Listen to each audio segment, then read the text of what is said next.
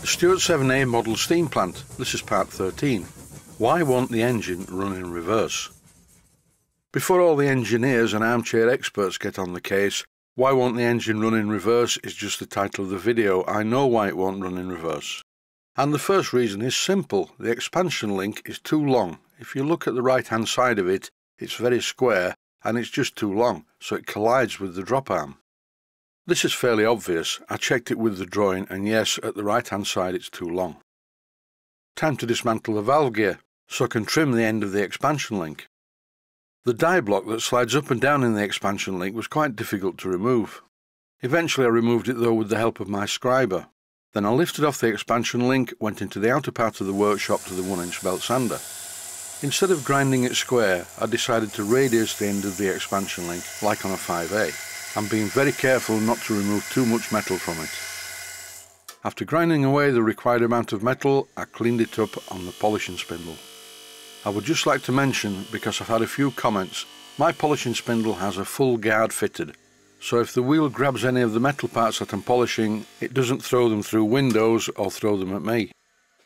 Back in the inner part of the workshop now, and here is the modified expansion link. I now have a kit of parts that when they're put back together will make the engine run in reverse.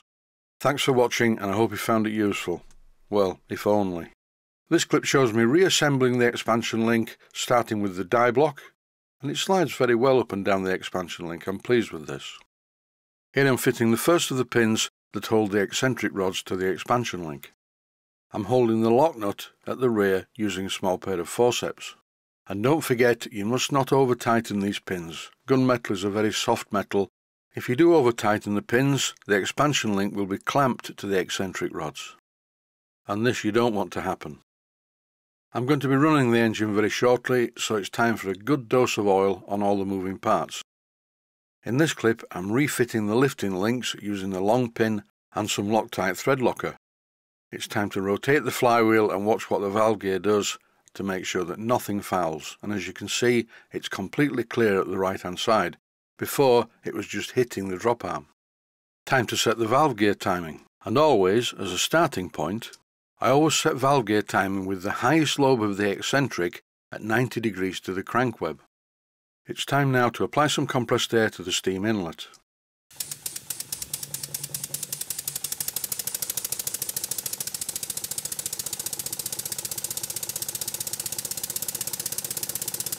As you can see the engine runs okay Previously in this position the expansion link locked up against the drop arm. Now the engine should run perfectly in the opposite direction. Everything's very loose, it's all moving about a bit, but it doesn't matter, it should still run in the opposite direction, but it isn't doing. And just to reiterate, please don't write in and tell me why it's not working, I know why it's not working. I adjust the timing for this eccentric and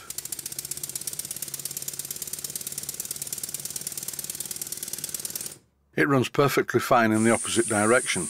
I could end the video here and explain why it's not going in reverse, but then that would not be a very good tutorial for beginners, would it?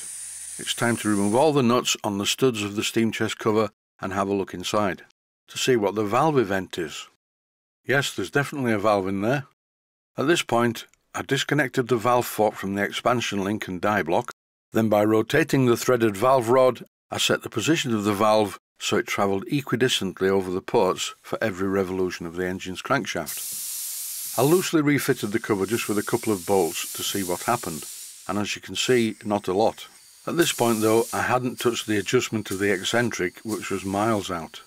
And for a second time, I removed the steam chest cover to have a closer look at the valve events. At this stage I had not altered the position of the eccentric on the crankshaft. What's happening at the moment is I'm double checking the valve events. And yes, just to confirm, everything is fine in the valve chest. The driving block that moves the valve is a bit wonky. I think it's just been threaded off centre. And as you can clearly see, it is not a tight fit in the slot in the valve because it doesn't need to be. It's steam pressure that holds this valve against the port face, not the block. After making the minutest of minute adjustments, after this I refitted the valve fork and the die block to the expansion link and checked the valve events one more time. Some viewers may be thinking, well, the valve gear is not fully assembled, it's wobbling about. That's why the valve timing's out. No, that's not the answer. I'm showing all this in great detail because it's a very common problem, but it never happens with valve gear that I make. Even though the valve chest cover is leaking badly, as you can hear by that high-pitched squeak, the engine still runs okay. But only in one direction. Turn the flywheel the other way and it just doesn't want to know. Anticipating quite a lot of adjustment to the eccentric sheaves, I was concerned about the slot-headed grub screw breaking off in the hole, so instead I fitted an Allen head type grub screw. Then I took the valve gear apart again. And why, you may be asking? This time I'm even removing the valve spindle to take out the valve. I checked the dimensions of the valve against the drawing, and the valve is exactly the same as on the drawing. And in this clip I'm refitting the valve, and as you can clearly see from this clip, the hole in the driving block is not threaded at 90 degrees to the driving block, but it works anyway. It's not cross-threaded, it's just a bit wonky and this has no bearing on the problem whatsoever. This is getting to be a bit of a deja vu. I'm refitting the steam chest cover one more time. What I'm trying to do is just show any beginners who are watching this that the hobby of model engineering, generally speaking, takes a lot of patience. I've been fitting this valve gear to this steam engine for a customer and friend of mine who lives in the USA.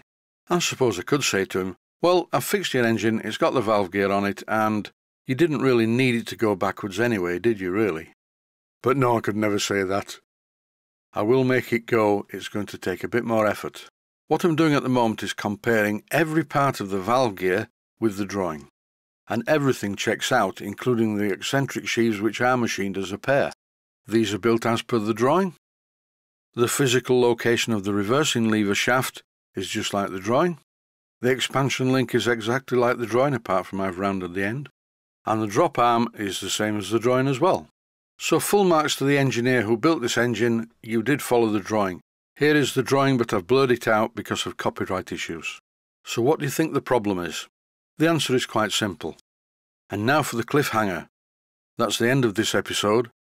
Stay safe, stay well, thanks for watching and I hope you found it useful. Please take the time to visit my Mainsteam Models website click on the section of the website that says Video Playlists. And by doing that, you will find it very easy to find other videos that you may like to watch.